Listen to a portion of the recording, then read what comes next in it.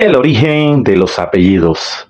En la antigüedad no existían los apellidos. Tomemos la Biblia, por ejemplo. A los personajes del Antiguo y Nuevo Testamento se les conocía por su nombre Abraham, Moisés, Pedro, Juan, Mateo, Jesús, María y José. No había tal cosa como Abraham Pérez, Mateo Delgado o José García.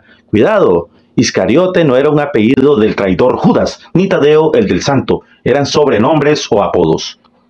Con el tiempo las comunidades se poblaban cada vez más y más, y de momento surgían las dudas. Llévale este mensaje a Juan. ¿Cuál Juan? preguntaba el mensajero. Pues Juan, el del valle, explicaba para distinguirlo del otro Juan, el del monte. En este caso, los apellidos del valle, en este caso, los apellidos del valle y del monte tan comunes como hoy en día surgieron como resultado del lugar donde vivían estas personas. Estos se llamaban apellidos topónimos, porque la toponimia estudia la procedencia de los nombres propios de un lugar. En esa misma categoría están los apellidos Arroyo, Canales, Costa, Cuevas, Peña, Prado, Rivera. ¿Qué hace la diferencia a algún accidente geográfico? Y Ávila, Burgos, Logroño, Madrid, Toledo, que provienen de una ciudad en España.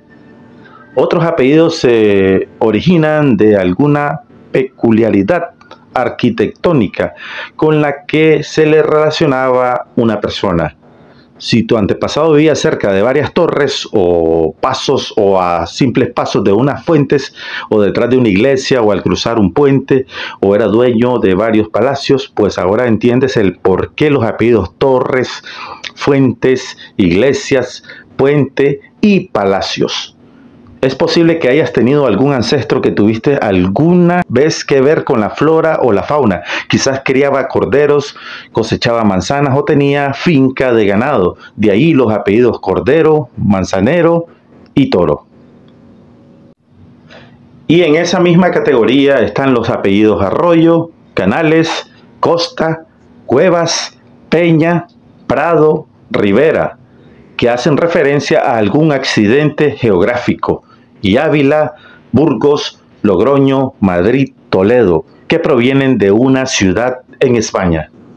Otros apellidos se originan de alguna peculiaridad. Los oficios o profesiones del pasado también han producido muchos de los apellidos que hoy en día conocemos.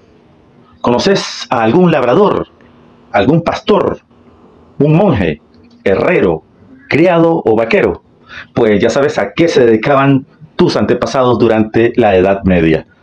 Otra manera de crear apellidos era a base de alguna característica física o un rasgo de su personalidad o de un estado civil. Si no era casado, entonces era soltero. Si no era gordo, era delgado. Si no tenía cabello, era calvo. Y si no tenía pelo, era castaño o rubio. Si no era blanco, era moreno. Si tenía buen sentido del humor, era alegría. Si era educado, era cortés.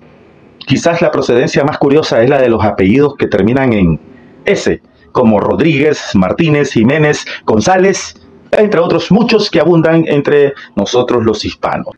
Los oficios o profesiones del pasado también han producido muchos de los apellidos de hoy en día. ¿Conoces a algún labrador o algún pastor, un monje, un herrero, un criado o vaquero? Pues ya sabes a qué se dedicaban tus antepasados durante la Edad Media. Otra manera de crear apellidos era a base de alguna característica física o un rasgo de su personalidad o de un estado civil. Si no era casado, entonces era soltero. Si no era gordo, era delgado. Si no tenía cabello, era calvo. Si su pelo no era castaño, era rubio. O si no era blanco, era moreno. Si tenía buen sentido del humor, era alegría. Si era educado, era cortés. Quizás la procedencia más curiosa es la de los apellidos que terminan en es como por ejemplo Rodríguez, Martínez, Jiménez, González, entre otros muchos que abundan entre nosotros los hispanos. El origen es muy sencillo. EZ significa hijo de. Por lo tanto, si tu apellido es González, es porque tuviste algún antepasado que era hijo de un Gonzalo. De la misma manera, Rodríguez era hijo de Rodrigo, Martínez de Martín, Jiménez de Jimeo, Sánchez de Sancho, Álvarez de Álvaro, Benítez de Berito, Domínguez de Domingo, Hernández de Hernando, López de Lope, Ramírez de Ramiro, Velázquez de Velasco y así por el estilo.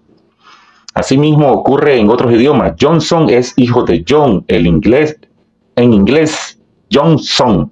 Mark Arthur es hijo de Arthur en escocés. Martínez hijo de Martín en italiano.